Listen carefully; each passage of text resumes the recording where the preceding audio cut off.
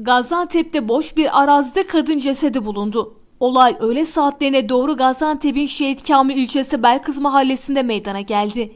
İddia göre boş bir arazide yaklaşık 40'lı yaşlarında yerde yatan kadını gören vatandaşlar durumu 112 acil sağlık ve polis ekiplerine bildirdi. İhbarın ardından bölgeye çok sayıda polis ve sağlık ekibi sevk edildi. Olay yerine gelen sağlık ekipleri yaptıkları incelemede yerde yatan kadının defalarca bıçaklanarak hayatını kaybettiğini belirledi. Olayın ardından polis ekipleri tarafından olay yeri incelemesi yapılarak geniş çaplı inceleme ve soruşturma başlatıldı. Canice öldürüldüğü tespit edilen kadının kimliği ise tespit edilemedi.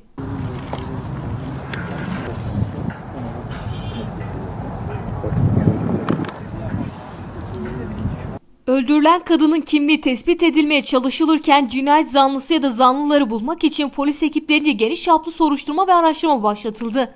Boş arazideki cansız bedense Cumhuriyet Savcısının incelemesi ve olay yeri çalışmalarının tamamlanması ardından Gaziantep Adli Tıp Kurumu morguna kaldırıldı.